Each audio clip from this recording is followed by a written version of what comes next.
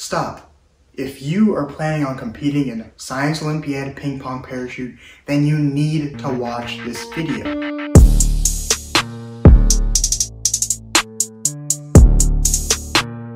Hey, what's up guys? If you haven't met me before, my name is Fayzan and I've competed in Science Olympiad for the past seven years and have placed at the national level.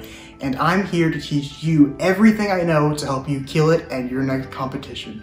Before we get into the video, please be sure to leave a like if you enjoy it, comment any questions you have down below, and subscribe to the channel because I post new videos just like this every Tuesday, Thursday, and Saturday. Before I tell you how to build the best bottle rocket for your ping pong parachute event, you first have to understand what that event is all about.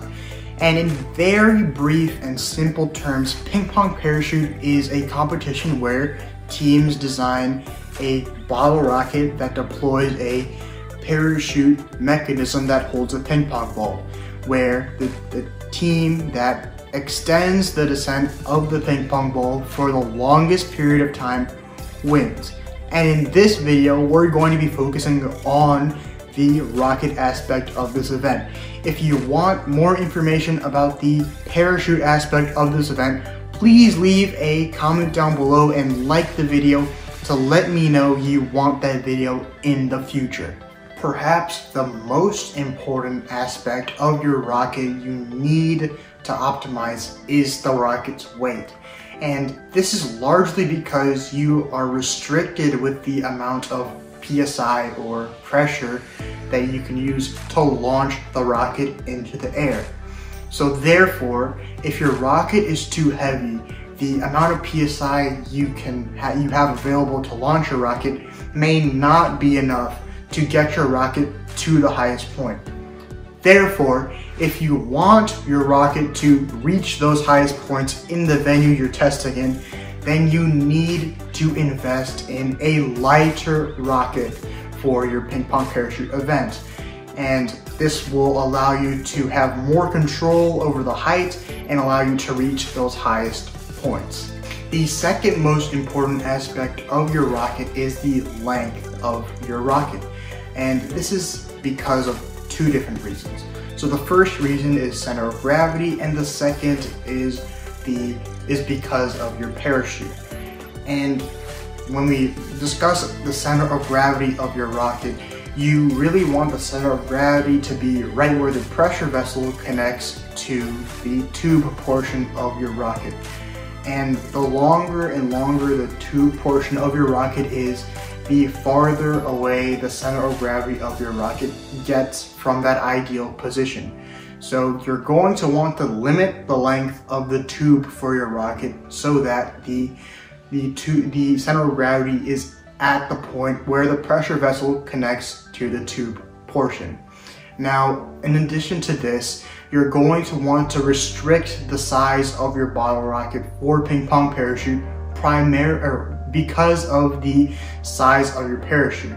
And this is because if, your if the size of your rocket is too small, then when you place the parachute onto the rocket, then there may be a lot of tangling of the string for your parachute and that will cause your, your device to not function very well when you launch it.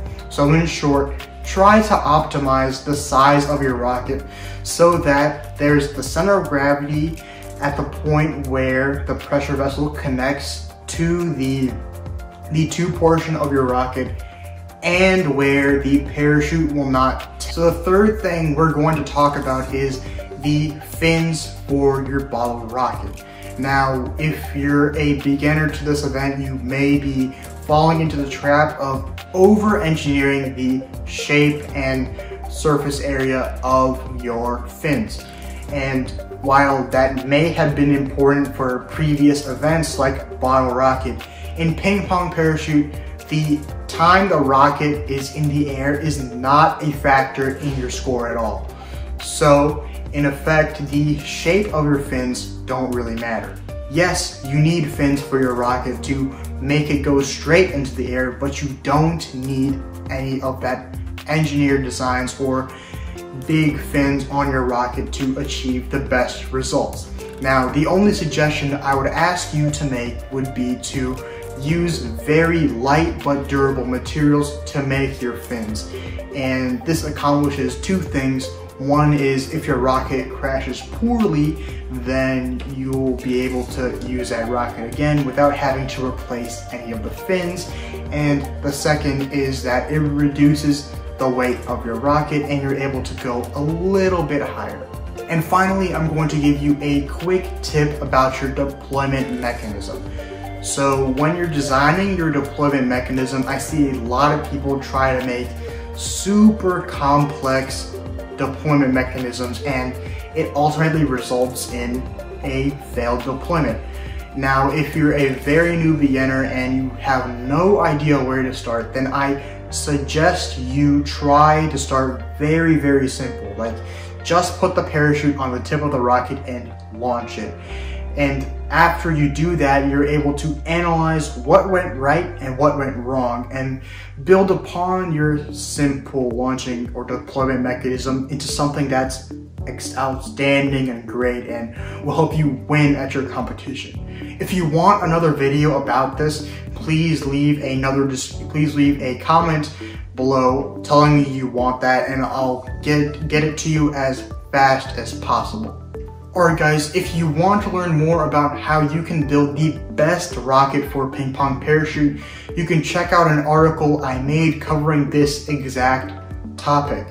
Also, please be sure to leave a like on the video if you enjoy it, comment down below any questions or concerns you have, and subscribe to the channel because I post new videos just like this every Tuesday, Thursday, and Saturday. And I'll catch you guys later. Stay Unphayzed.